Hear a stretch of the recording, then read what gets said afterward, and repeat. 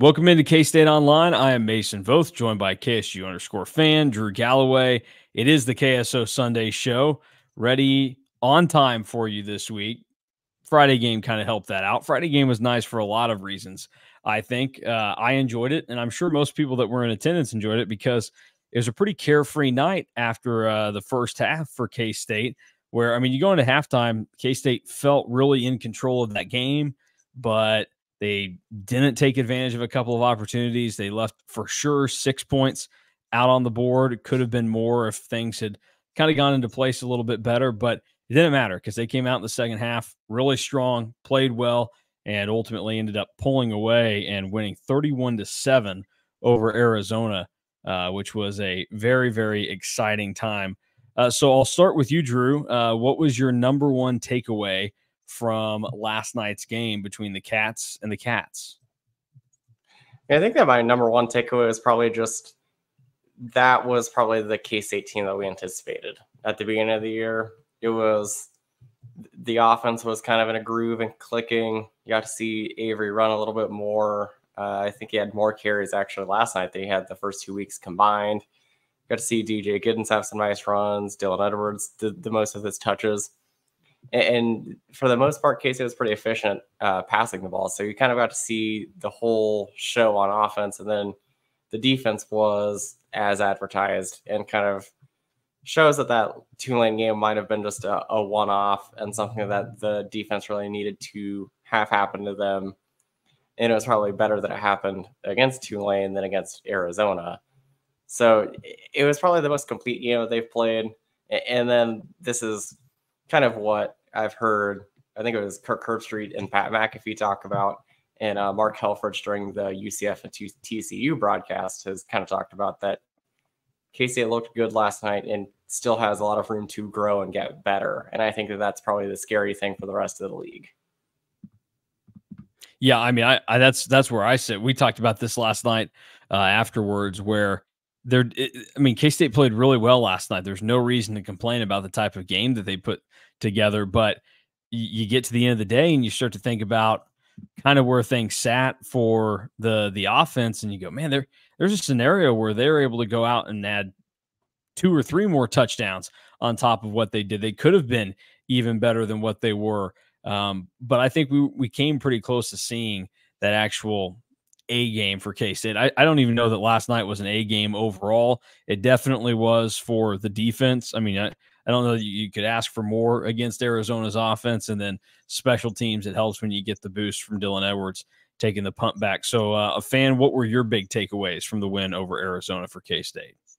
Yeah, number one, you mentioned the defense. I think that the dominant performance after that first drive to to hold Arizona to seven points. I, I kind of thought this would be more of a shootout type game. I think I picked 38 30 for K State to win it.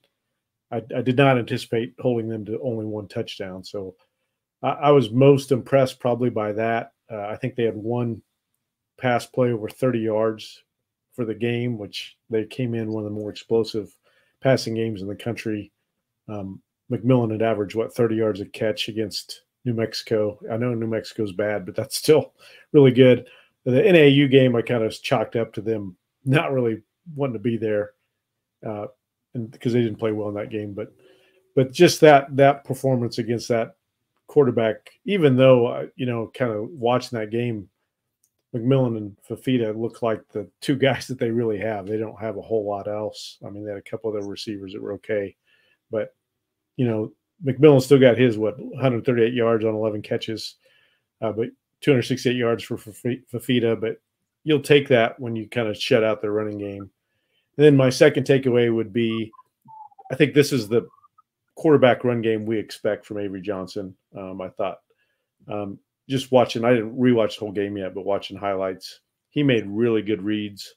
And I thought the rhythm of the quarterback run calls was better. I think that's a credit to to Riley and Wells and, and kind of figuring out when and where to make some of those calls. I thought that that rhythm was better and and uh, Avery Johnson really took advantage of it. Had some nice carries, and for as many carries as he had, the other impressive thing is he didn't take a lot of shots. He didn't take hits, which I think if you're going to run him that much, you want him to be able to avoid uh, taking hits and, and protecting his body. So so he's here for the whole full season. So those are the two main things I saw in that game.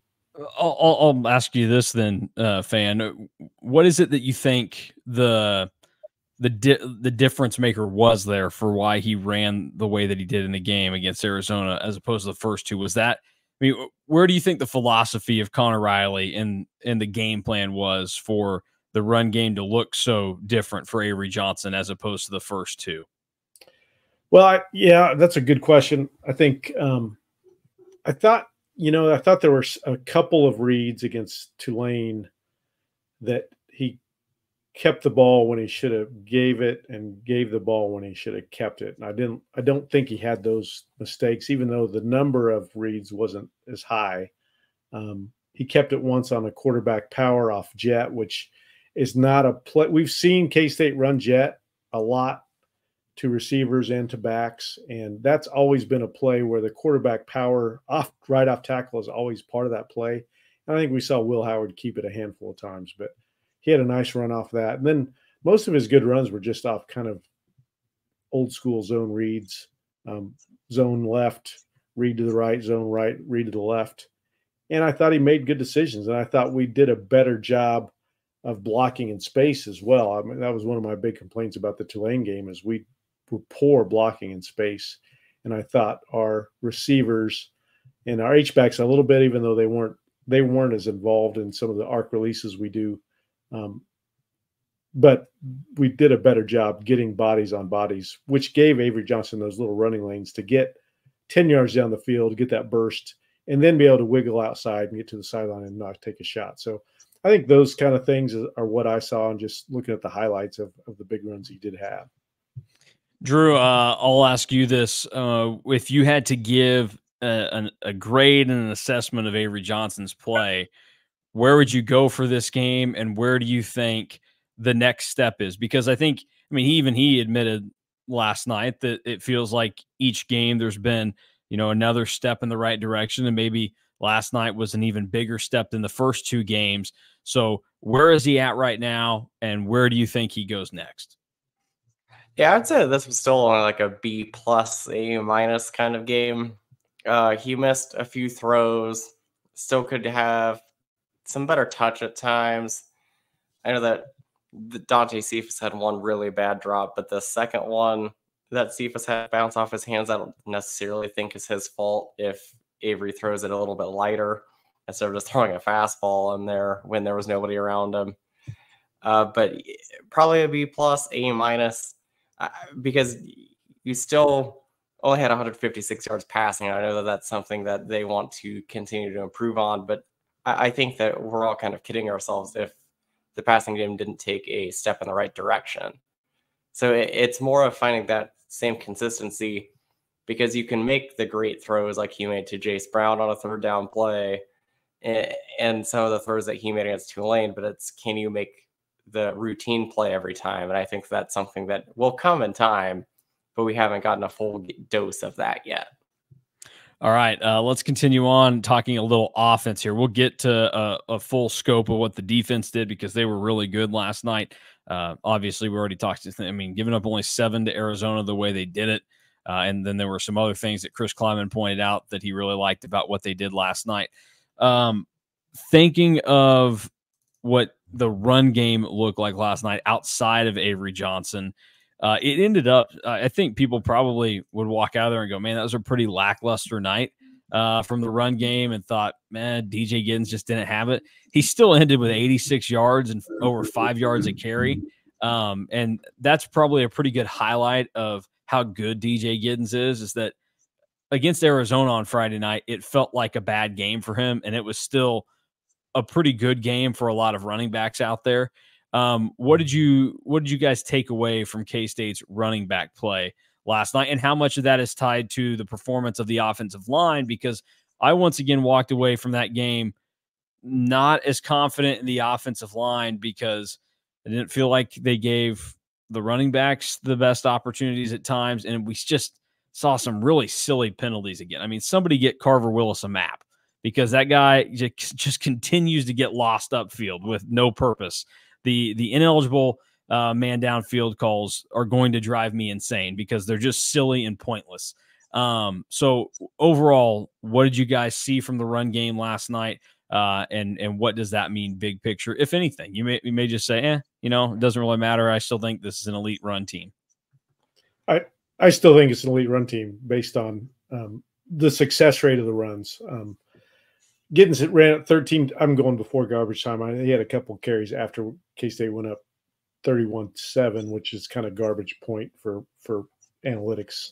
Um, but he, he, had 13 carries and eight of those were successful. So he had like almost a 62% success rate on his carries, which is what is a lot better than the Tulane game actually, and the UT Martin game. But as far as success rate per rush, he was more successful. And and Dylan Edwards was actually a little worse. His his success rate was only 33%. He had two really good runs, but then he had some runs that, that didn't do much. I, I don't blame him for that. It just his success rate on runs was not as good. I mean, I think Drew pointed out that he was disappointed because Dylan had a couple runs he didn't score on, and his scoring rate is going down. And and Drew was disappointed with that in the press box. But uh, you know, our, our total success rate on on the rushing game was 58 percent, an average of 77.3 yards per carry. And if if you can do that, you're going to be uh, really good in every game. And that was our best success rate percentage of the season um, against. I don't know.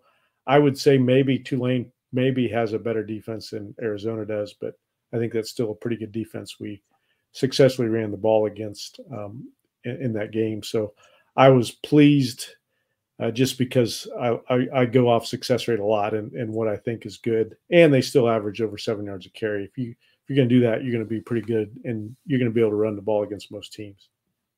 Yeah, fan put what I was gonna say a lot nicer. I was gonna say that like we are just so spoiled with the K State run game and how the offensive line has looked the last two seasons that this is still a pretty good offensive line, but probably isn't as good as last year or 2022 yet. And we're kind of just we're still a little bit hard on them. When you look at the raw stats, I mean, 235 yards rushing, and like Fan said, averaging seven yards a carry before garbage time. I mean, you're you're going to take that every week and run with it. And I think almost every other school would call that like one of the best rushing attacks that they've had the entire season or in a really long time. And with K State now, it's just kind of like, oh, that's just kind of a normal game. So I think that it's still a very, very good run game and run team and kind of like I said last night in the instant reaction, I think that they've found their identity. Like this is a we're gonna give the ball to DJ Giddens, Dylan Edwards, Avery Johnson, and we're gonna run the hell out of you.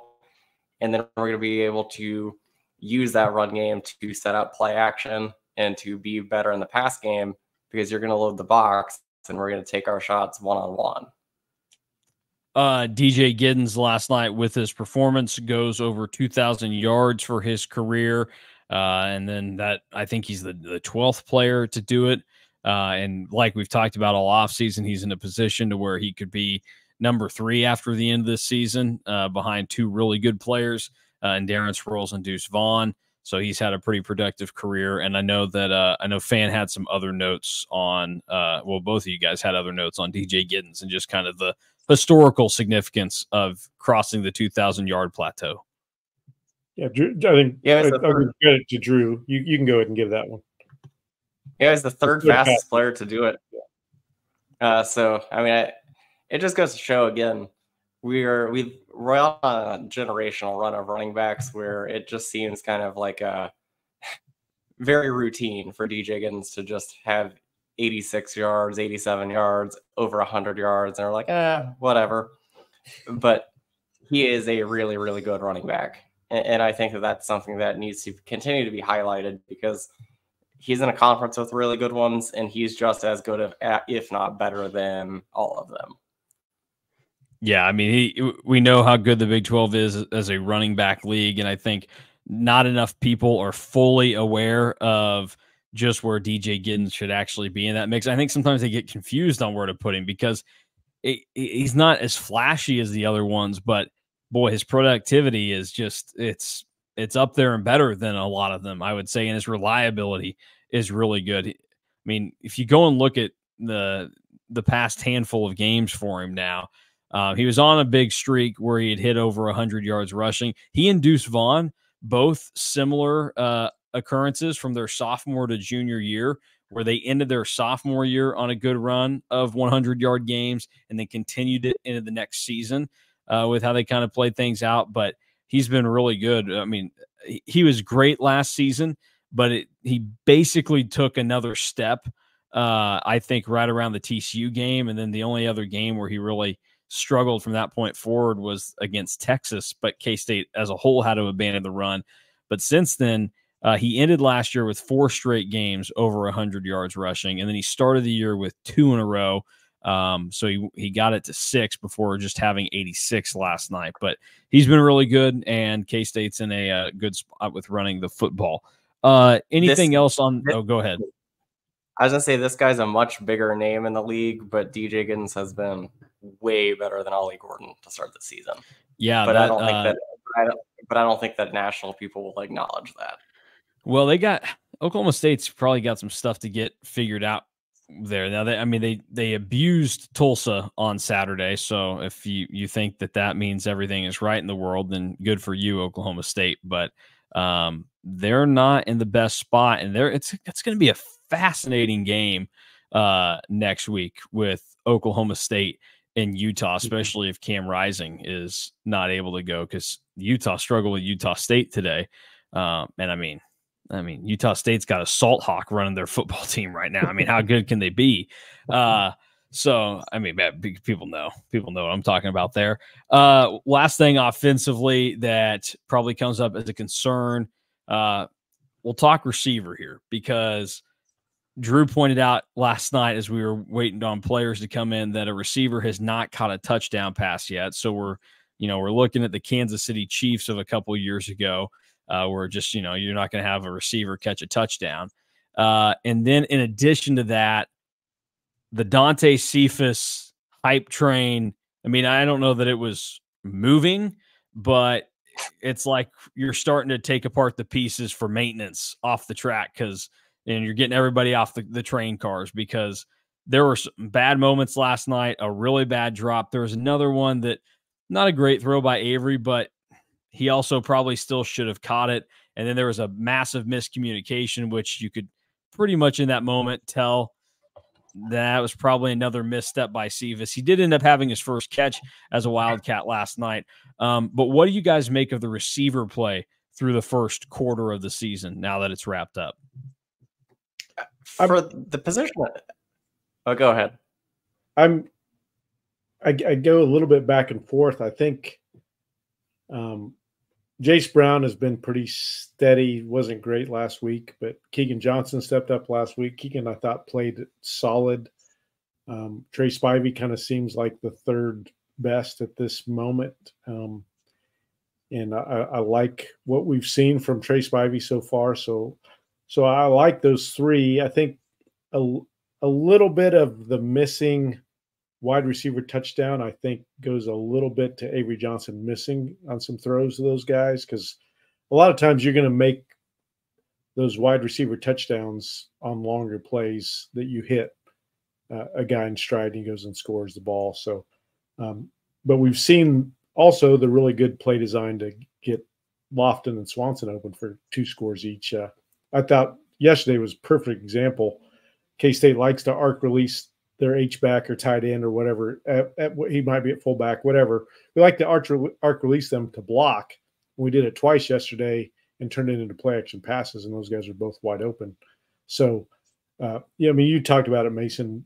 Conor Riley doesn't get enough credit for the, the play designs he has in the red zone to get us to score, and I think we saw that perfectly yesterday with those two passes to Loftin and Swanson.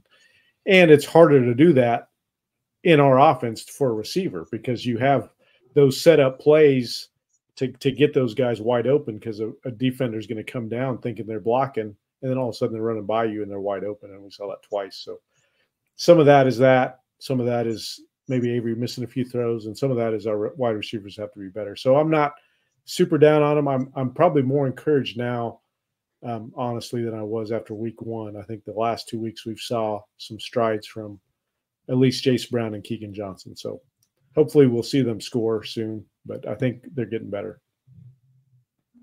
Yeah, I think as a whole the position has been fine. They they none of them really were great outside of Keegan Johnson in the Tulane game. Jayce Brown was the only one that was good in the opener against UT Martin. And then Jayce Brown was pretty good uh, last night as well as Keegan Johnson. So you kind of got to see both of them play pretty well. Dante Cephas, I think the the thing that is more concerning than the drops is that it never seems like him and Avery are on the same page. And I think that that is much more of a concern going forward and why we're kind of, we kind of saw last night Tre Spivey start to creep up and take some of those snaps away from Dante Cephas. I, I will say adding Tre Spivey to the receiver rotation in that first group probably is a higher ceiling than having Dante Cephas as that third receiver. So that'll be interesting to monitor. Uh, but at, receivers not having touchdown as a whole doesn't it doesn't bother me because uh, kind of like fan pointed out, if Avery just makes that throw to Jayce Brown against UT Martin instead of going down at the one, that's a mm-hmm. touchdown. yeah. Yeah, that's uh that's that's a good point there. One of those semantic type things. Uh anything else offensively that you guys want to get off your chest before we move on and talk about the real studs of uh Friday night, which was the defense? Just the uh, only the other thing I would Sorry, Drew. The, the uh, only thing I, other say, thing I would say is the lack of turnovers by the offense is really yes. impressive with a sophomore quarterback. Yeah, I was gonna point that out as well as uh, the tight ends have been really, really good. That's mm-hmm. without Garrett Oakley for mo- most of the game last night. So Brayden Loftin has been really, really good, and Will well, Swanson touchdown machine. And I mean, as people are finding out in this region, that uh, you don't even have to have a sophomore quarterback to have turnover problems at the quarterback position. So uh, it's just it's just impressive in general to be, you know, a quarterback not turning the ball over right now if you play in the Sunflower State. I'm pretty sure I'm pretty sure Wichita State's intramural quarterback has had a bad turnover problem. That's probably who I'm thinking of when I talk about that. Uh, all right, defense time. Joe Klanderman, after his group, both verbally and statistically got roasted against Tulane, bounced back in a big way last night. That includes after the first drive where Arizona took up half of the first quarter, went down, scored. I think 14 plays is what it was. And then K State answered by basically doing the exact same thing um, with one extra play mixed in there. And I had somebody text me after that first drive, and it was kind of this uh oh type thing. And they're not a K State fan, but I said, I'm not going to say anything or get overworked about it because I mean, obviously we know that's those are the plays that are scripted, whatever. Like, let's just see how the game develops from here.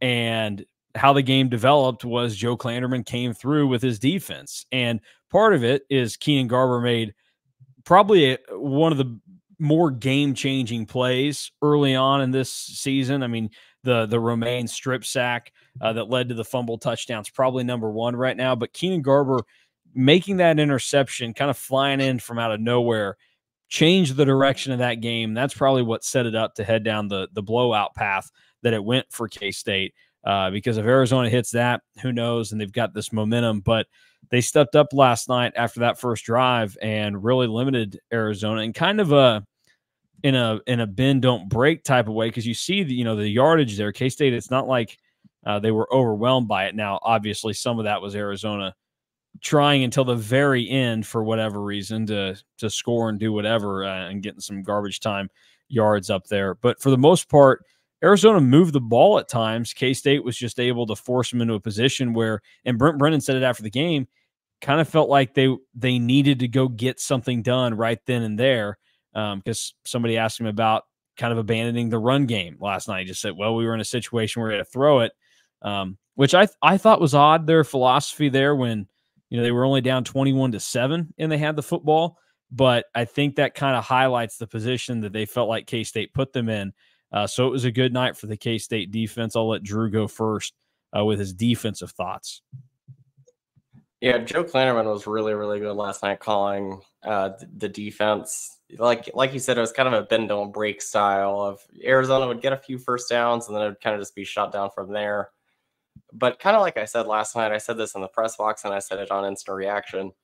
There's no way that K State's staff was going to let what happened to, to against Tulane happen again against Arizona because of how enriched this staff is defensively. And, and I mean, Chris Klieman has even called it a, a defensive backs program.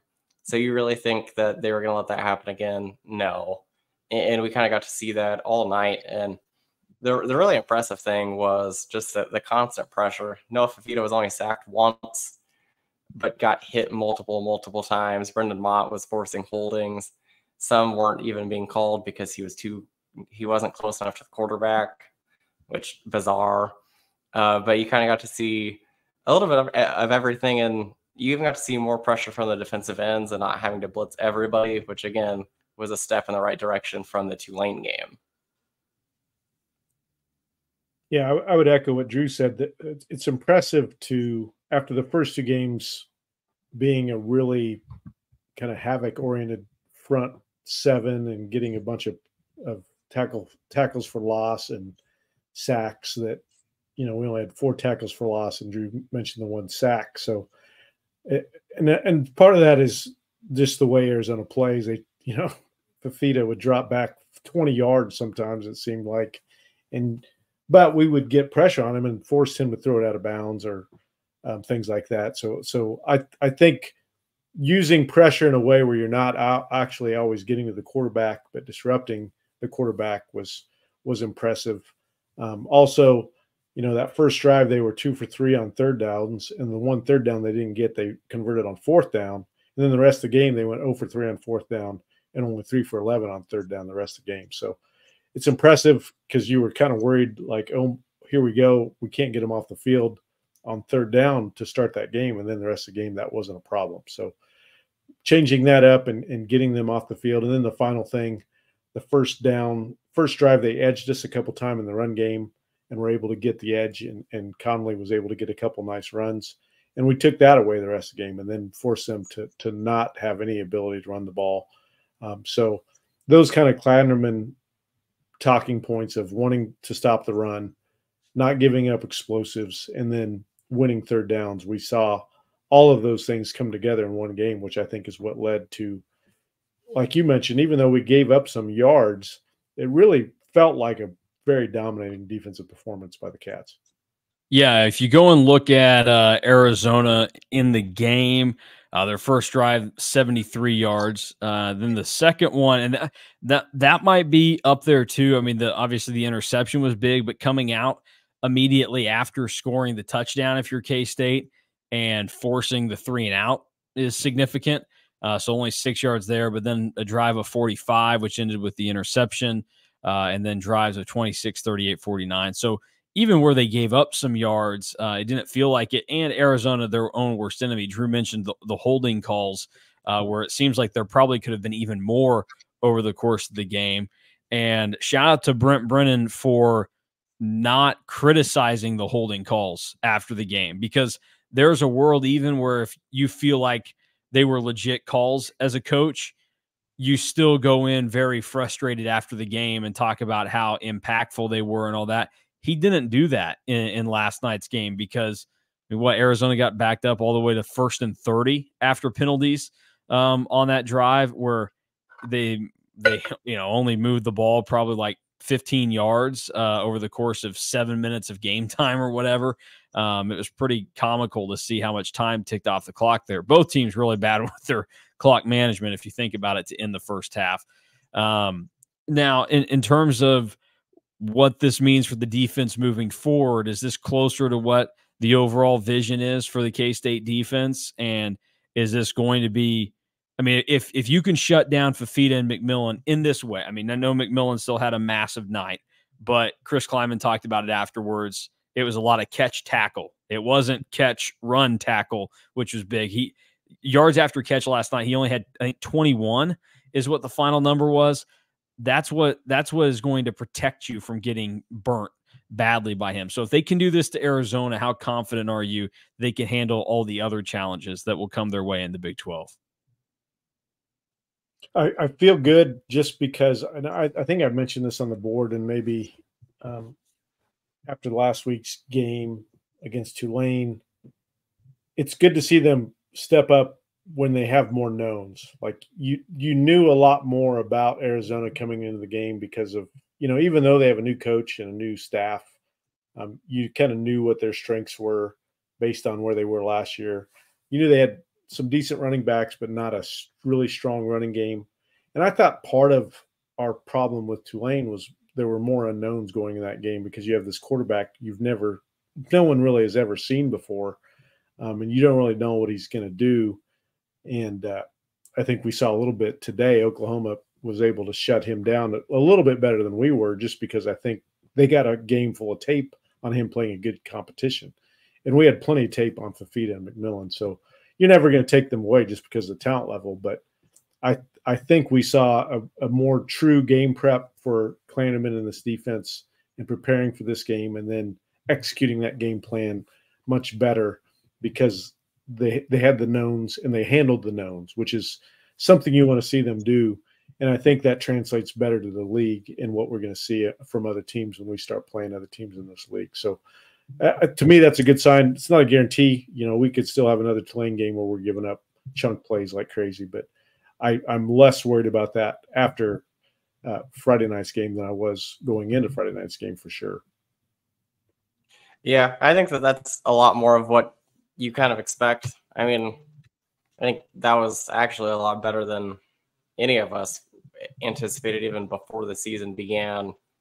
Like if you say in June or July that K State's going to hold Arizona to seven points, I think that everybody is like, "Holy crap! That's that that's like probably one of the best defensive performances of the entire year."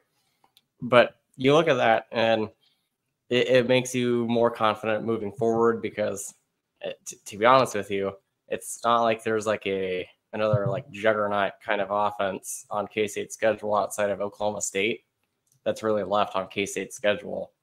So if you're th- if you're saying that you can do this to Arizona, you should be able to do this to BYU. You should be able to do this to Houston. You should be able to do this to Cincinnati. So now it's okay. You've done it once. Now go out and prove it the rest of the way. Uh, last thing, recapping last night's game that I want to specifically get into with you guys. Chris Klieman immediately afterwards took full ownership of the end of the first half gaff where they just killed all the time without being able to kick a field goal there. Um, where in that moment, look, I, I get what he's doing, and, and, Avery Johnson understood what he was trying to do there. Avery Johnson took ownership of it. Both guys are at fault for what took place at the end of the half. Um, and the one thing that was interesting about it for Chris Klieman was he said this is not these are this is not a mistake I'm accustomed to making, which I think some people would take a little bit of disagreement with because there have been some moments over his career where you would criticize some of the clock management times. It's by no means near what some of the other coaches out there are, but it does seem to pop up from time to time, and people probably overreact to it a little bit, uh, myself included. But you know, it is one of those things. Um, what did you make of how that thing played out and just how bad of a mistake was it? Not in terms of, oh, it cost them the game, because it obviously didn't, but in terms of kind of what it signals and how it could have cost them the game in certain situations. Um, what did you make of of how that played out there, Drew? I'll start with you. Yeah, it's more bad because it's uh what could have happened because that that that's kind of the play that if the game ends up getting closer, you say, well, if you didn't screw up at the end of the half, especially if after you'd already missed a field goal and you had a pretty good drive going too, that you have that happen on top of it. But that's also something that I I don't see happening ever again or even like remotely close to happening again. That's part of Avery being a young quarterback and, and Chris Klieman just maybe having a little bit too much confidence in the situation with Avery. Uh, so I don't anticipate it happening again. It's more of like a at the at the time that felt like a very critical portion of the game, especially after K State went three and out uh, to begin the the third quarter. But but really, it was just kind of like a blip in the grand scheme of things.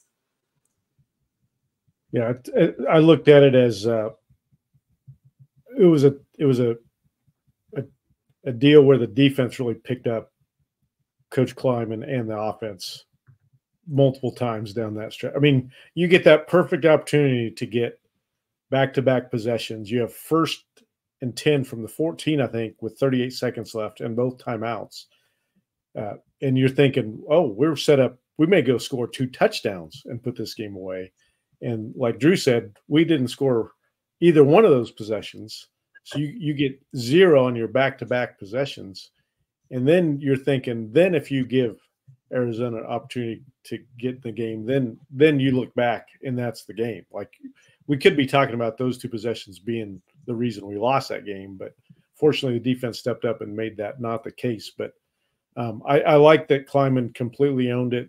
Um, I like I like that Avery Johnson owned it. Like accountability in your football program is never a bad thing, and when both of your your two of your loudest voices are both taking the blame and not making any excuses, no wavering, just saying, I screwed it up. It won't happen again.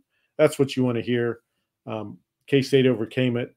Like Drew said, we're, we're going to forget about it. We won't remember it. It's like seeing uh, Bobby Witt strike out with runners on second and third, but then Salvy gets a, a single and scores both runs. And HUD likes to say, talk about picking the picking Bobby Witt up. That's I, I thought it. The defense picked up Coach Klieman and Avery Johnson. And to, to yeah, the, the talk, thing, oh, go ahead. Oh, the other thing that I was going to say was that uh, you talk about how it's good for uh, Avery and Coach Klieman to own up to it. I think it's m- most impressive in a 31 to 7 win that Coach Klieman addressed that during the opening statement. Mm-hmm. Yeah. Like yeah. he wasn't asked about it yet he said that there was like the third or fourth point that he like made sure to say in his opening statement was, "Hey, this happened at the end of the half. I screwed up. It was my fault. It won't happen again." And I think that's really impressive and shows how good of a leader Coach Klieman is, and then how good of a leader that Avery is to kind of come in and say afterwards and say, "Yeah, Coach Klieman might have said that it was his fault, but it was actually my fault." Yeah, I mean, Chris Klieman came in and he he just he came in with a purpose uh, after the game ended uh, on Friday night, and like he came in there and just kind of commanded the room, like he was on top of everything that he kind of wanted to uh, to to say and do, and I mean it was it was pretty impressive uh, to see what he was able to to come out and say. So uh, I think that should be uh, kind of appreciated and, and looked back on by everybody uh, what he was able to do. All right. Um, I guess uh, the last thing that I was going to uh, give you guys the option to discuss is we'll talk Big 12 big picture here in a little bit. But based off everything that you've seen now, we do our power rankings every single week. And I, I wrote in them this week that I thought if K State took care of business against Arizona, there was little doubt in my mind that they would be able to shoot to the top spot. Is K State the best team in the Big 12 right now? I, would say yes.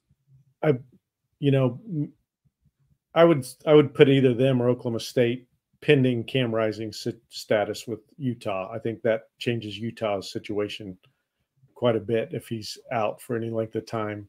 Um, Oklahoma State, I, I, you know, Drew mentioned Ollie Gordon not being great so far, and we've seen some some flaws from Oklahoma State, but I'm sure they're saying the same thing about us in, in our Tulane game. So um, but clearly we have with this win we have the best win of the three teams right now and so uh, to dominate arizona not just beat them but to dominate win 31-7 i think puts k-state you got to put them at the top just because of the quality of the win um, and then you know the next one up I'd, I'd hate to say it but could be the cyclones even though they're off this week That we're not going to see them play but that win over iowa even though iowa struggled today uh, uh, may be, you know, uh, especially since it was at Iowa.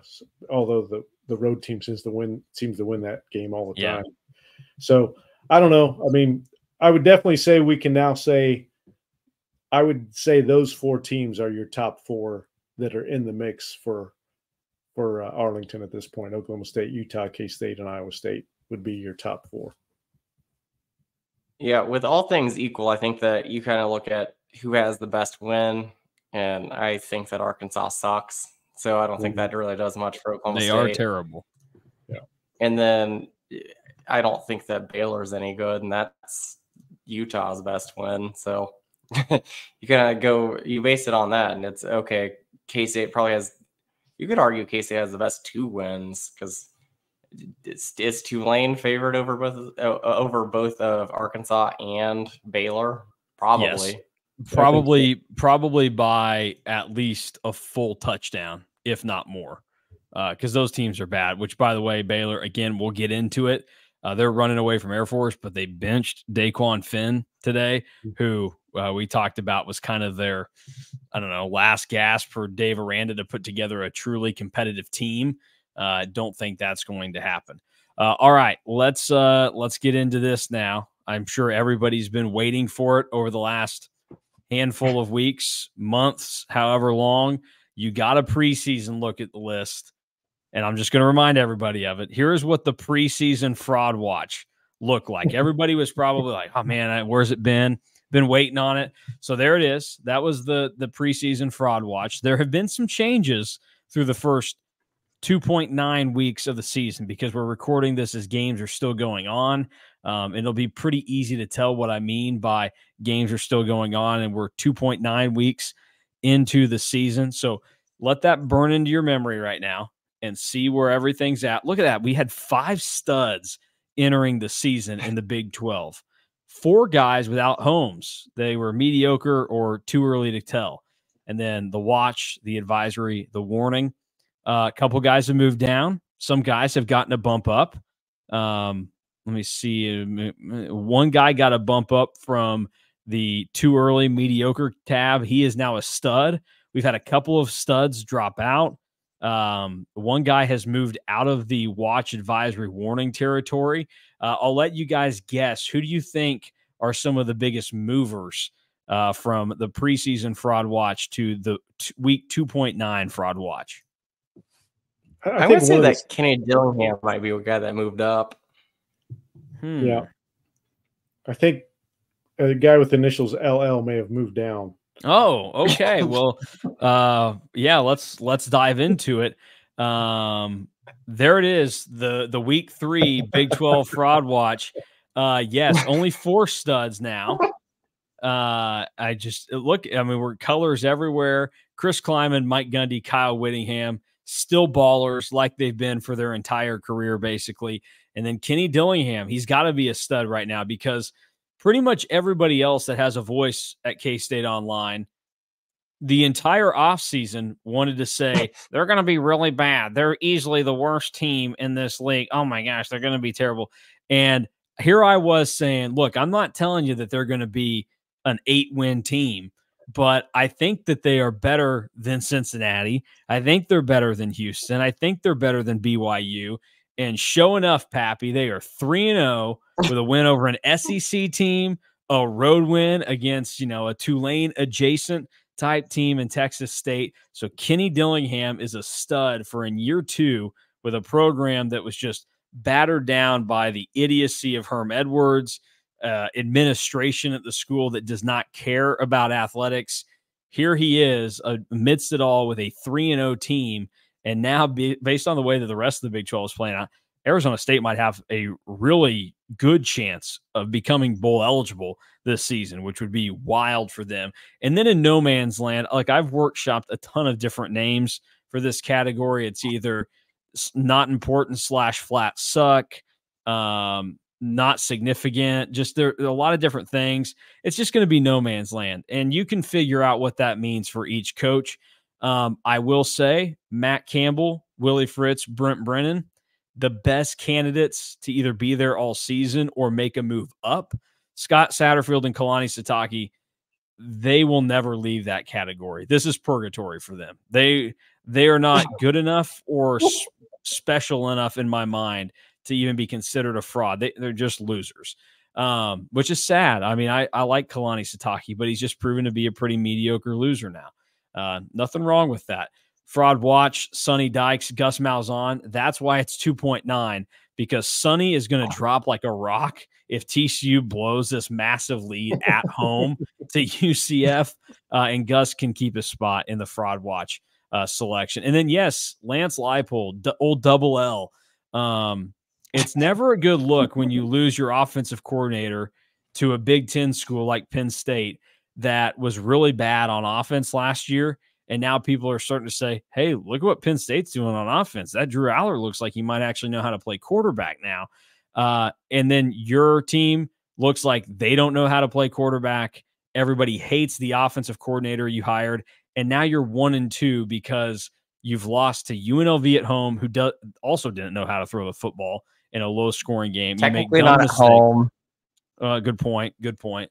Uh, and then you think about the the loss to Illinois. I watched Illinois against Central Michigan today. I watched way too much that game. Illinois is still not a very good team. As much as I want to support my friend Alec Bussey, uh, they're just not very good or special to watch. That's a bad loss. So Lance Leipold, one and two, you are on fraud watch, sir, because while it's impressive that you did hire Andy Kotelnicki, he is no longer there to uh, kind of hold your pants up for you. So we'll see uh, if Lance slides anymore. Advisory Joey McGuire. I mean, this guy, the snake oil salesman of all snake oil salesmen, just coming in there wheeling and dealing. Honestly, he and Gus Malzahn very similar. Uh, look at all my four and five star recruits that I'm bringing to these places that have sucked for the eternity of our program. Okay, that's awesome. That's great. It's going to give you some preseason buzz. Now, actually go out and do something on the field with those big shots. Uh, that has not happened yet. And you cannot fool me with that blowout win over North Texas today, Joey. I see right through your act. And then the fraud warning two guys that are locked into that spot. They will never leave. Deion Sanders and Dave Aranda, my two least favorite coaches in the Big 12, um, just because I think they're irrelevant and not even worth uh, our time. Again, Deion, I see you just sneaking past Colorado State tonight. I don't care. Does not matter. You're going to get wall up to the next couple weeks. Dave Aranda, if Dequan Finn not going to work out for you, you're probably in a bad, bad spot. And then Neal Brown, welcome to the bottom of the league. Um, again, this is another one where I feel vindicated because all off season I started to see people buying into the West Virginia hype train, and I was like, where is this coming from? Uh, I would gladly point out that Derek Young and I both were like, I don't know, like the schedule kind of helped them out. They're a pretty good regression candidate. Boy, have they regressed because that loss to Penn State, it looked worse after Penn State struggled at home with Bowling Green. And then today, a just monumental collapse against a terrible Pitt team. So Neal Brown, fraud warning, and uh, Wren Baker has to be looking through the fine print of that contract extension they gave him to figure out did I make that big of a mistake and can I get out of this and hire my own guy? Which Wren Baker, Seth Littrell available, the OU offense clicking all of a sudden, reunite North Texas connection there. Let's see it. Bring Seth to the Big 12. He's he's always been on the cusp of it. We know that. Uh, so that is your uh, week three fraud watch, and uh, it's getting dicey for Sonny Dykes. This would be a terrible loss for him. Uh, BYU or uh, sorry, Baylor and Colorado. Most fascinating game of the week next week for your fraud Ooh. watch. I I would oh, like boy. to ask formally, who are you rooting for in that game? Uh, Baylor because Dave because Dave Aranda is a lifeless, no good football coach, head coach. He's great defensive coordinator. I'm not going to take that away from him. Uh, but how embarrassing if you're Deion Sanders to lose to the total opposite personality that you are. I mean, Deion Sanders is like the color neon neon green or yellow, and Dave Aranda is like the color of water. You know, he's clear, just nothing going on there. Um, so, and I actually feel bad for Dave Aranda. I know I say all these mean things about him. He doesn't deserve it. It's just you are what you are sometimes. Some guys just you know, you're a nice guy, but you suck. And I think Dave Aranda is a nice guy that sucks. Uh, Neal Brown, same type of deal, but he's a little bit more brash about it. Like he's going to push back. And it's like, Neal, I've seen you go five and seven quite a bit. So ease up. Um, so yeah, I'm definitely on the Baylor wagon next week. Uh, so The other the other thing that I'll point out is as impressive as Arizona start has Arizona State start has been, and I, I was one of the doubters. Mhm, you were. Uh, but but uh, the SEC team that they beat is currently losing by four touchdowns to Toledo at home. So that that Uh, probably doesn't make that a well, great win. Uh, an SEC win is an SEC win. Football's football, Drew. You forget that, I think.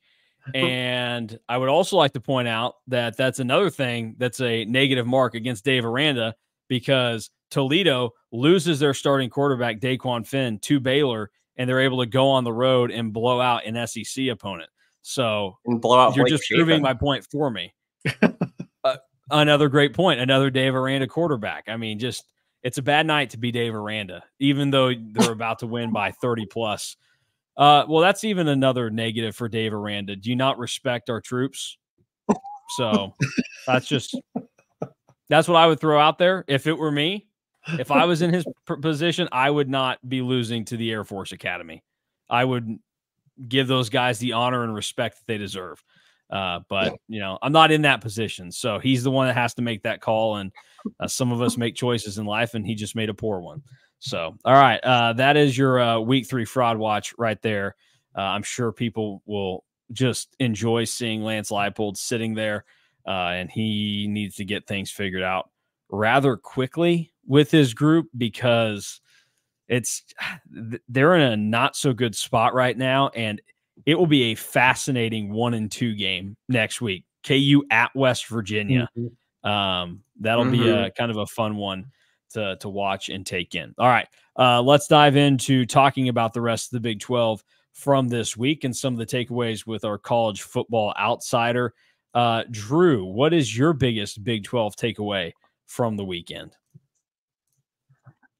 Ooh, that, that's a good question. I think that the the biggest takeaway this weekend, I think, is that the top is probably where we thought it was, and the bottom could be could be rough. I mean, you've already pointed out West Virginia, Baylor again, just looks like they're kind of trekking towards the bottom.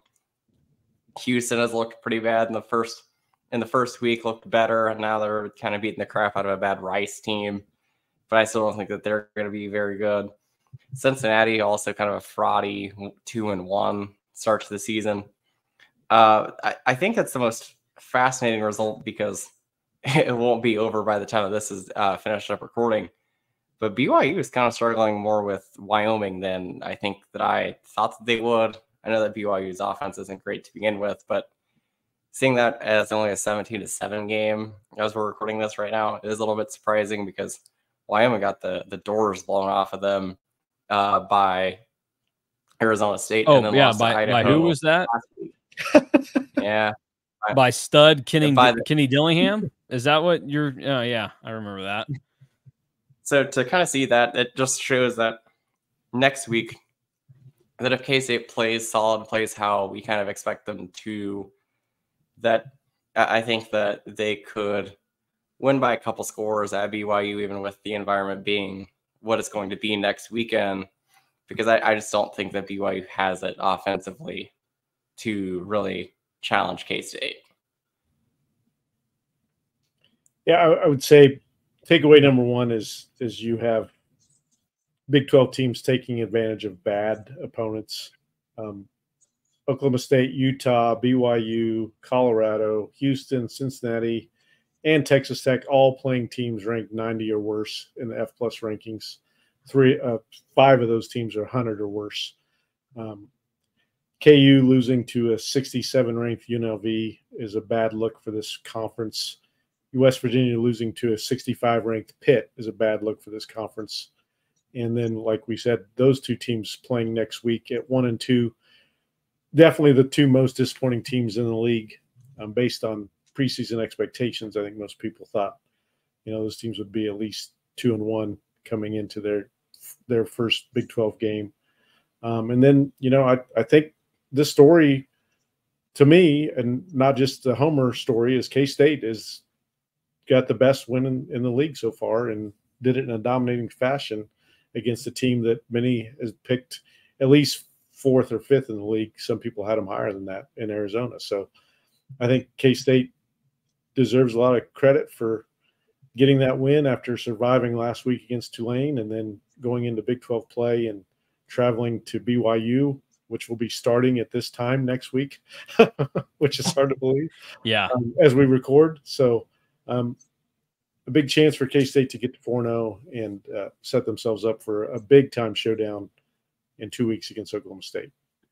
Yeah, that uh, that is uh, that is fascinating to kind of see how this thing is has played out for the Big Twelve now because look the the Big Twelve I think has deserved a lot of respect over the last couple of seasons. The the issue right now though is and this is where they're going to get killed perception wise is the teams that you needed to kind of step up and be better and be good uh, where there were expectations. Um, you look at, I mean, uh, Texas Tech, West Virginia, KU, mm-hmm. those teams not living up to it hurts because that's where there was some national perception and buy in.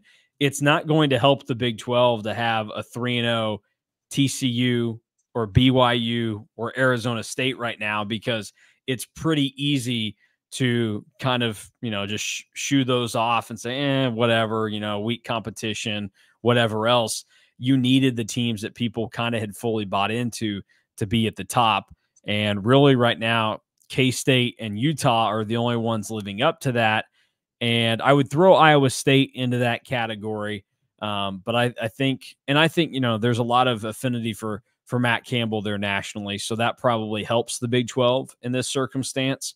But I do kind of wonder like we've seen Iowa not look very good. Their other uh, you know, their other times out. So how much does that hold up? And also I think a lot of people are starting to recognize a little bit more like Iowa State has a pretty hard ceiling that they've hit.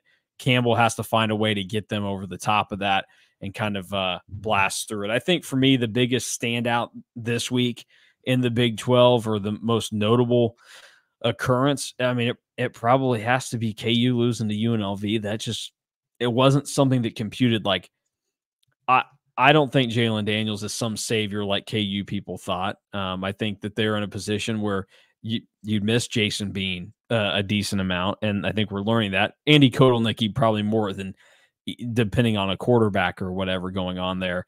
But the situation that he's put them in right now is really tough because three touchdowns to six picks after non-conference play. Uh, after last night, he was 85th in the country in his ESPN QBR. And the mistakes that are being made, it's not just like, oh, you know, he threw a, a 25 yard ball down the field that got picked off at uh, the opponent's own 30 yard line or whatever, he's turning the ball over on significant drives or in situations that give the opponent loads of momentum and in a spot to score. Or in the case against Illinois, he just gave him a free pick six, like the, I mean, just easy money touchdown for him. So that's the one that's probably the most disappointing and surprising right now, the way that that's played out. Because as much as K State fans like to give uh, him loads of of crap. He's never been this bad in his career. I mean, you're looking at a, a situation right now for Jalon Daniels where he's playing as close to as poorly as he did his true freshman year during the COVID season, which is not a fair time to, you know, grade anybody. You know, 18 years old. Well, he was younger than he was 17 when he was playing that COVID season, and then everything thrown on top of that. And it makes sense because I don't think anybody'd seen Jalon Daniels throw as bad of a ball as he did for the one that got picked off by Xavier Scott last week since Justin Gardner got the free pick six in the game in 2020. So the KU thing is probably the most notable because I just thought they'd they'd bounce back. That's that's probably how much faith uh, I had in Lance Leipold, and that's why. I mean, I know that fraud watch is kind of a joke and tongue in cheek type thing, but it really is something to monitor with him where he is no doubt a really good football coach and has put KU on a track that is far better than anything they could have imagined. But when you start to lose your pieces, how do you pick them up and and keep the train moving? And other coaches in this league have have proven that they can do it. Mike Gundy has had tons of different coaches under him and he continues to churn out nine, 10 win seasons every year, be a threat to win the Big 12. Chris Klieman in year six has his third offensive coordinator. And here he is, possibly with his best team since he's been at K State. And it's never been a drop off. It's either continued on or it's gotten better. He's changed defensive coordinators and then he's, you know, been stable elsewhere. Uh, Kyle Whittingham, same type of deal. Like he's lost guys, he's kept it rolling. This is where Lance Leipold has to prove where his chops actually lie and how competitive he can be long term uh, at a high level in the Big 12 in the Power Four is when guys start to get poached because when you're good, that's what happens. How do you sustain that success? And it's it's too early to tell how that goes right now, but that's why they're in the position that they're in. So it'll be fascinating to, to me to see how that kind of plays out. But I think KU and West Virginia, most specifically, those are really bad for the Big 12 national perception wise. Um, it might be good for K State's schedule uh, if you think about those teams not being good because those outside of Oklahoma State and Arizona were and I the road game at Iowa State. Those were the two other tough games on the schedule this year for K State, and all of a sudden they seem lighter than what they would have been. So it'll be interesting to watch uh, moving forward as uh, we we wind down here and see. I guess maybe by the time we end, we'll have a, a final in the TCU UCF game, which is going to come down to the wire after TCU bad false start had to settle for a field goal and they're only up six. Uh, moving on, let's highlight and preview K State BYU real quick for next week. Cats, as a fan pointed out so nicely, uh, will just be kicking off when we're recording this at 9:30 at night. Uh, so everybody just stay up as late as you can and uh, see what happens, or just you know go to Provo, have the time of your life. It'd only be 8:30 there, so that's a little bit of a boost. Um, we talked a little bit about BYU tonight and where they they kind of sit. Looking at going to 3 and 0 in non-conference play with a road win at SMU and then, you know, what could have been a, a tricky-ish game against Wyoming. Um, what do you make of the team that K-State is going to see on Saturday, Drew? It's kind of a mixed bag, especially offensively. I I don't think that BYU is necessarily the, the most flashy offense that K State will play against. But but defensively, they're they're pretty solid. And They could cause some issues for K State, and especially within the environment and kind of getting used to the altitude and everything. That K State could have some problems, but offensively, not super inspired. Uh, Chase Roberts is a pretty good receiver, but Retzlaff is very prone to giving the ball to the other team. So I think that if K State can take advantage of that and, and, even plays just even a few notches below how they played last night, I, I think that K State wins probably by two scores. Yeah, it's it's probably debatable.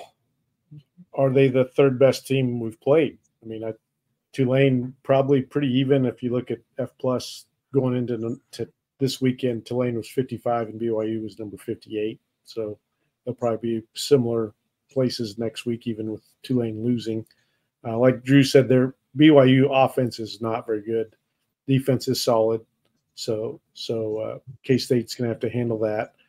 I think it will be a much. I think it'll be a. I don't. I don't know. Much, maybe not is better a good word, but it'll be a tougher environment than Tulane. Definitely, I think BYU does have a good stadium and a good crowd, and they'll be up for that game. Uh, since we'll be coming in as you know probably a borderline top ten team um, coming in their stadium. So uh, that will create a challenge, and you know, just a new environment, altitude, all that kind of stuff that you guys mentioned as well. So those are challenges, but but I like K State to to not, you know, the, a, a lot of people would look at this as a trap game between Arizona and Oklahoma State, but I I like the makeup of this team and the, the, the way they handle situations, and and I think they're mature enough, even though there's a lot of new players. I think they're mature enough not to slip up in a in a, in a game they really should win on the road, even though it's on their own. This is a team they should beat. Yeah, it'll it'll be fascinating because I think really the the biggest threat to K State next week would be the crowd that you're going to see. I mean, they they seat over sixty thousand there, and if BYU is three and zero oh and K State even wherever they sit in the top 25, that is going to be a significant game uh, for them. And that, that will be a juice crowd late at night. And you know, I I don't know how much stock you want to put into the late kick, but um, I mean, it's not like K State's going to go out there however early and try and adjust to the one hour time change, but it, there's got to be some little element of kicking off a game at 9:30 local time, just not jiving well, and like there will be some things that you have to fight through and be a little bit sharper than you normally would at that time. Um, and maybe not necessarily when the game starts, although sitting around all day in a hotel room waiting for an 8:30 kick, but 9:30 the time that you're used to, that your body's used to is significant. It's probably one of those that would kick in more so as you're sitting there waiting for the offense or defense to get off the field and it's 12:15 back at home and you're probably yawning on the sideline or something like that could happen. Um, and that's why I think you know, K State getting out to a fast start, similar to what they did against uh, Arizona. As long as they do that, I'm not overly concerned because BYU, despite what the record is going to look like, they're not a very good football team yet. And as Drew mentioned, Retzlaff is very turnover prone, and uh, K State has shown defensively that they're stepping their game up in terms of forcing turnovers this year. To have the three through three games already is significant, and they made some very timely ones too. I mean, all three have come at the right time. They've been significant, so it'll be kind of interesting to see what that uh, ends up looking like next week. Uh, prediction for K State BYU early final score call for that game from the both of you. Fan, you can uh, go first. Yeah, I think uh, I can't remember. I picked K State by more than two or three touchdowns in the summer. I'll, I'll, i usually update them the week of the game. I'll look at the numbers a little bit more, but I, I do think this is a game that K State pulls away in the second half and wins comfortably um, down the stretch. Um, I would, I, I'm going to go with 31 14 Cats. Uh, I will go 38 to 13. Uh, good guys. Uh, I'm in a similar boat, Drew. I go 38 17, but that might be too many points for BYU because after what the K State defense did, uh, their last three halves of football have been really, really good. They've really, you know, they've played six halves of football this year. They've they have one bad one, and the other five have been really good. Yeah. So um, that's one of those things that in the moment, and especially since it was only week two, it's hard to have that perspective, but now we can zoom out a little bit more and kind of see what it looks like. Uh, so I guess I'll uh, I'll try and be positive there, which is uh, an oddity for me, but I I do that a little bit more, which I don't know maybe it's maybe it's odd that I'm so positive and kind uh, to to the football side more often, but I don't know why that might be. Uh, real quick before we finish things up, want to remind everybody that there's no better way to kick off the 2025 college football season than cheering on the K State Wildcats in the Aer Lingus College Football Classic in Dublin, Ireland. The Cats will square off with the Iowa State Cyclones on August 23rd, 2025. And whether it's a quick trip to Dublin for the game, a multi city adventure throughout the Irish countryside, or exploring the Emerald Isle on your own, there's a package for you. Visit cats2ireland.com for information on official travel and hospitality packages that's cats, the number two, Ireland.com. So a good reminder for everybody on Cats to Ireland. Uh, top 25 will come out on Sunday as people uh, hopefully have listened to this and see everything that goes on with it. Um, where do we have expectations for where K State will end up? So, just a little highlight as to what has gone on in the top 25. No major uh, shakeups, at least fully in front of K State. Utah and Oklahoma State were the teams directly in front of K State. They won pretty easily uh, this weekend. But do you think because of K State's dominant win over a team like Arizona that they can get that bump up over some others that, you know, maybe there are some bigger flaws with Utah and Oklahoma State right now? And the question mark of Cam Rising, who did dress today uh, in Utah's game, but he did not play. Uh, Zach Wilson's little brother started instead for Utah. Um, where do you expect K State to be when the polls come out on Sunday? Yeah, it's going to be tough because no one really is lost ahead of them. Um, they may maybe a better question is where do you think they deserve to be right now? Yeah, in regards to the the rest of the country, because we talked about how good the Arizona win is. Yep. Tulane, easily the best one and two team in the uh, country right now. Uh, so where do you think K State deserves to be relative to others? I would say maybe 11, 12 is probably where I say. I think knocking on the door of the top ten. Yeah, French top 10, 11, 12. But uh, my guess is that the top 25 looks pretty similar this week as it did last week. Yeah, I mean there are a lot of frauds out there, so that's uh, not shocking. Frauds is in the people that make the polls, and uh, USC at eleven, they they kind of hid from everybody this weekend and didn't play. Similar to Iowa State, week three buys are a soft move. Just throwing that out there. Um, yeah, I mean right now, like the only the only ones that I could argue K State should probably move in front of. There are four teams uh, that I would do that with relative ease in pleading my case and feel okay about it. It's Oklahoma State, Utah, USC, and Penn State. Um, and you know they're just they're not going to move a team like Penn State down, uh, even though they, they probably should. And then you're you're probably right. So I think K State right now probably is the tenth best team in the country in terms of what we perceive them to have and where their resume at this point in the game would kind of put them. But we'll ultimately see how that uh, ends up playing out. So, all right. Well, we uh, have gone a little bit longer than I wanted to, and uh, have taken Drew and Fan away from their Saturday nights, which have been free because we've got no K State football tonight. Uh, they took care of business on Friday, uh, which maybe that's the final question. Drew, how did you enjoy the Friday game? Do you want more of them as long as they're at home? As long as they're at home and as long as K State wins, Friday night game, excellent fan? I enjoyed it as long as the game I coach is not on a Friday night. Because if we move ours to Thursday, I'm I'm all for it.